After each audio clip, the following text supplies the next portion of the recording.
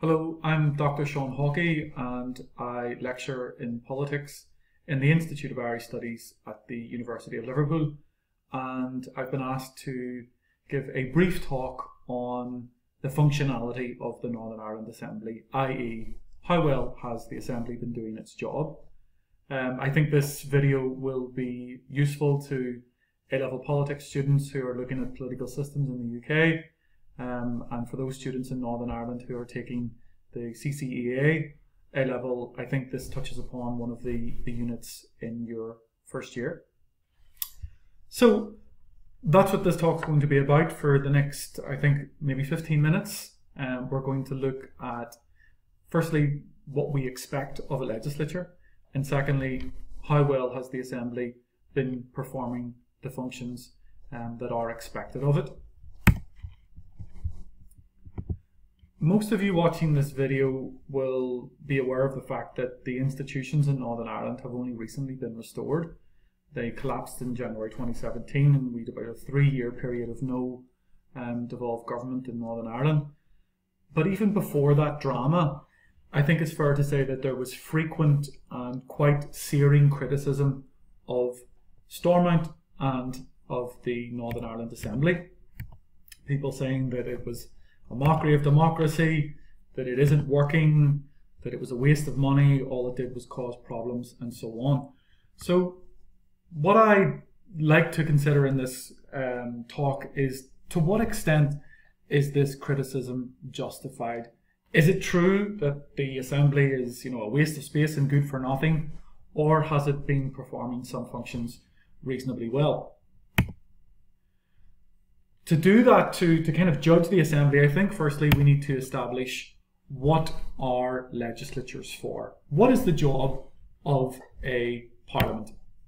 And if you're watching this video in a classroom, now might be a time to pause the video um, to ask this question amongst yourself What is the purpose of a legislature? I think it needs to be said um, there's no universally agreed number as to the number of responsibilities um, that legislatures have, the number of functions that we that we expect of them. At the very least, there's three, um, but I'd like to discuss four functions because I think the fourth one is important. Um, there are plenty of political scientists out there that will say there's many more than four functions that a legislature is responsible for, but at the very least, I think we can say three to four. The first of which is to make policy. So the, the clues in the name, legislature, legislation. So the job, and it would be considered the kind of primary job of a legislature, is to assent to legislation, to pass bills that create or amend the rules that we live by in society. The second is to provide a forum um, to represent people's views in. So we elect MLAs because we agree with their policy positions. They share similar views to us, um, and they go to the legislature and they give voice to those views and opinions. The third is scrutiny, so that is to monitor and be prepared to challenge the decisions, policies, and expenditure of the government. And the fourth one um, is linkage. So MLA, this is usually carried out through the work of individual MLAs. MLAs have a responsibility or a job to link citizens to the government. So they will take information from the government. So, for example, what a policy means or how to complete paperwork to apply for a government program, and they will explain that to their constituents in their local areas. And they will also listen to the concerns, um, the complaints, the questions of their constituents and take some of those concerns back to government, to politicians, to, to ministers, to civil servants, um, and relay those concerns. So I think we can say there are at least four functions that we can expect of a legislature. And the, the next question that, that I would um, ask is, well, how well has the Assembly um, done with respect to these functions? In terms of policy making, or assenting to legislation, I think you could get the impression, particularly if you're reading some of the media accounts of the Assembly, um, that it doesn't achieve much by means of legislation because there is gridlock or you hear about stalemate and impasse. Um, but when it comes to legislative productivity or the number of bills that the Assembly is passing, the Assembly's record actually compares quite favourably with devolved legislatures in the UK. So that, that data in the top right hand corner, that um, notes the number of bills passed uh, in each mandate in Northern Ireland, Wales, and Scotland. And they're, they're good comparisons um, to make. Um, we have some unique circumstances, of course, because we are a power sharing legislature, um, but we're a devolved legislature and we are responsible. The Assembly has similar responsibilities and policy competences um, to, to Scotland and to Wales. And for example, you can see in the most recently completed full mandate, so that mandate lasted without any disruption or suspension 2011 to 2016, the Assembly passed 67 bills, so that's more than double that of the Welsh Assembly, um, and not too far behind the Scottish Parliament. The Assembly has also improved its performance in passing non executive legislation. Now, what does that mean, non executive legislation? Well, there are at least two types of bills executive legislation, that is introduced by ministers in the government, and non executive legislation that is introduced by the Parliament. And there are two ways um, for um, non executive legislation to be introduced in Northern Ireland. Um, MLAs, individual MLAs, can introduce a private member's bill, or the committees, parliamentary committees, can introduce a committee bill. Now, the in the, the early years of, of devolution, it has to be said that members and committees seemed a bit reluctant to dip their toe into non-executive legislation, um, especially the, the committees. Um, some bills were introduced as private members' bills, some passed, but but certainly not a lot. Um, but the the most recently completed mandate, 2011 to 2016, that term saw more committee and private members' bills introduced and passed since the institutions um, were established with the Good Friday Agreement in 1998. And some of those private members' bills were actually pretty significant pieces of legislation. And such was the surge, such was the increase um, in private members' bill proposals um, that the the infrastructure that the the um, assembly couldn't cope um, with the number of uh, members who were coming forward with these new ideas for, for private members' bills. Um, so the assembly essentially became a victim of its own success. Um, now that shouldn't have happened. The the suspending of the private members' bills function, um, but it, it's not the staff in the assembly who are at, at fault there. Um, but it is to be welcomed that it seems to be the case that our MLAs and our committees are becoming more confident, more prepared um, to come forward with what they think are good ideas, good policy proposals, things that they want to be enacted into legislation. So I think the overall point here to make is that when it comes to legislative productivity, the Assembly has not underperformed. Now you could say, you know, it's a question of quality over quantity, and you just can't count the number of bills and say, you know, the Assembly has done an excellent job.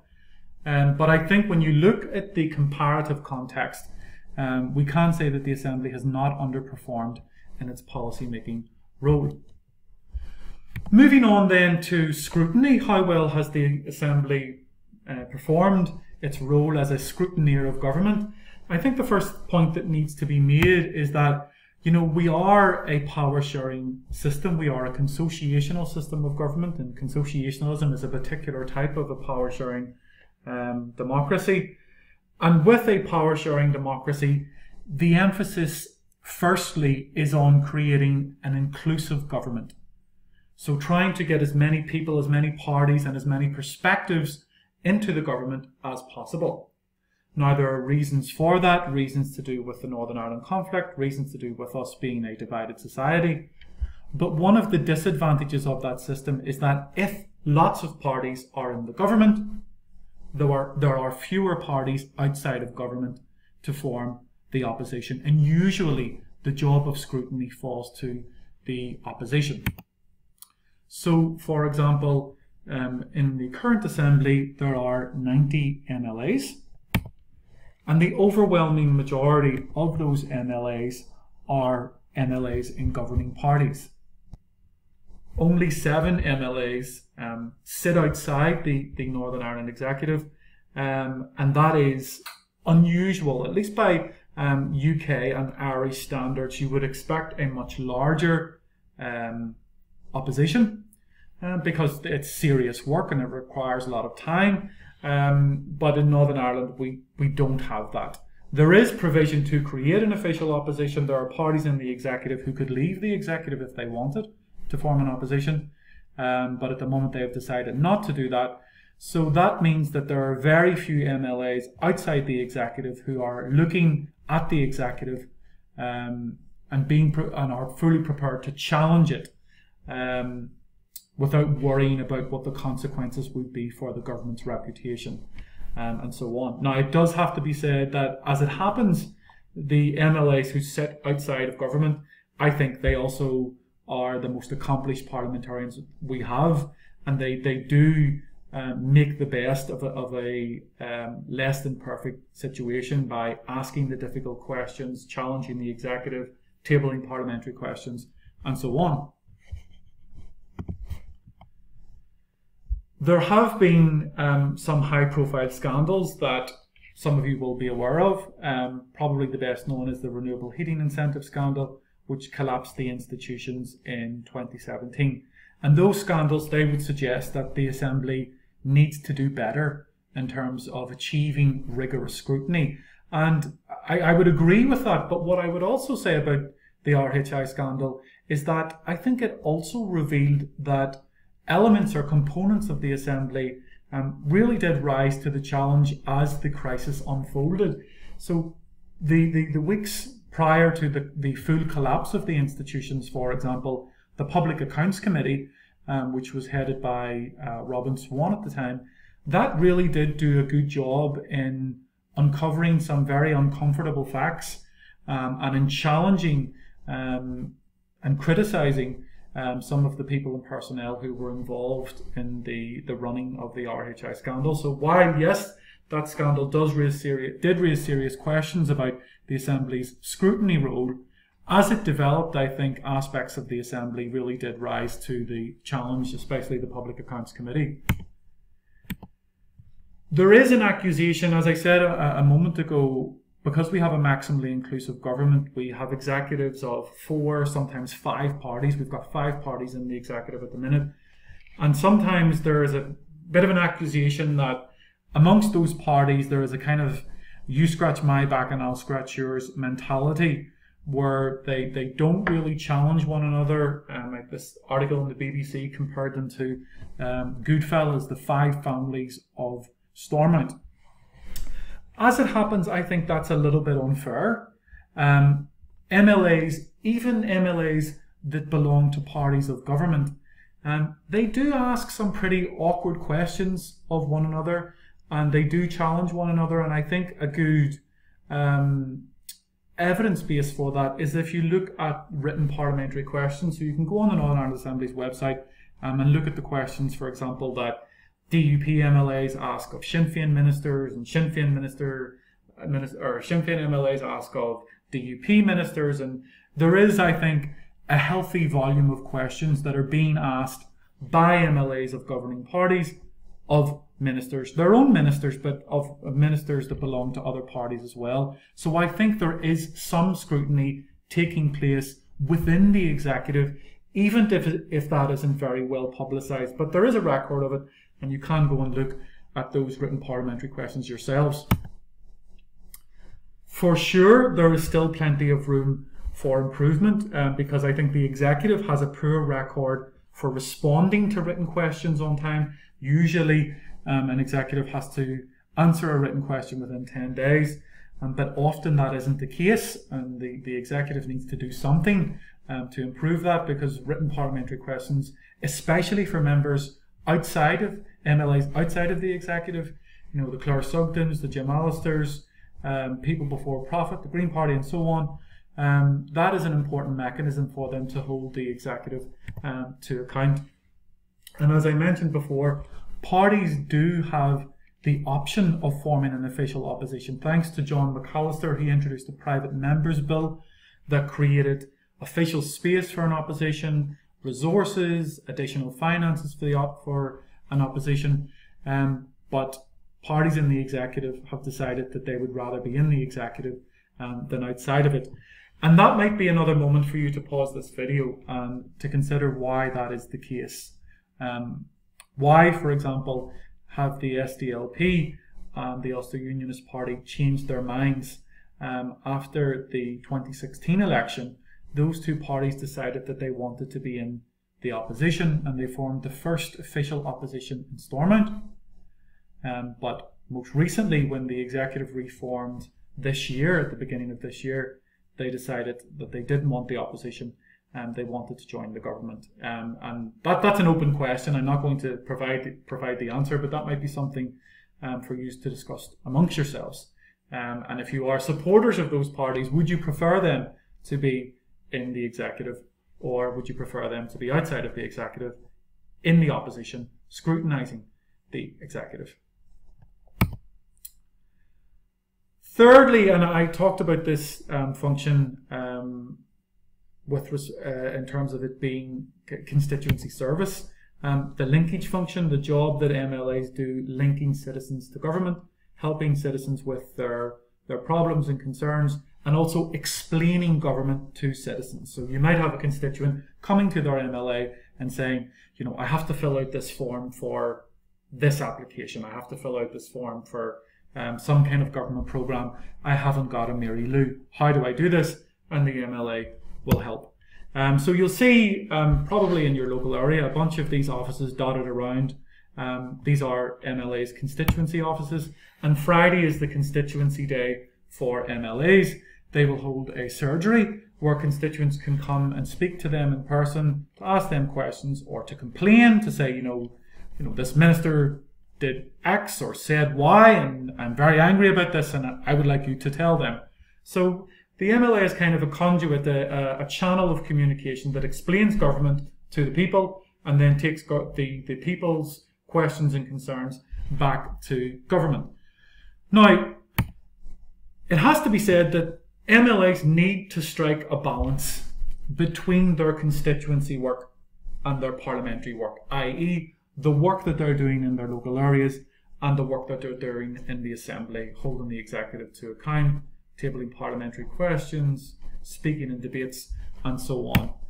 And some of our MLAs are too constituency focused. Sometimes you'll hear in Northern Ireland um, the expression parish pump politics, when it seems that MLAs are too focused on the local concerns and aren't focused enough on the, the big picture, the work that the Assembly is doing, debates, legislation, and so on.